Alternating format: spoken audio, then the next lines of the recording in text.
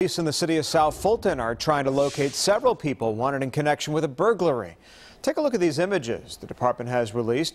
Officers believe the people you see were involved in a burglary at a home on Demooney Road last month. You're asked to call South Fulton County Police if you have any information.